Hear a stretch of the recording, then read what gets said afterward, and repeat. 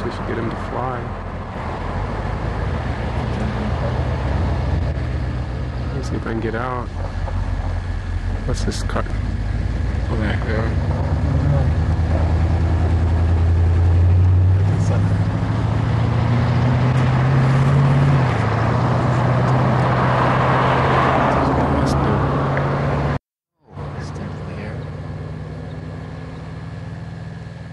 Gee, it just disappeared in my eyes. He's still right there, though.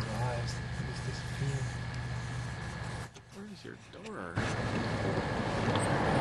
Why is he of small?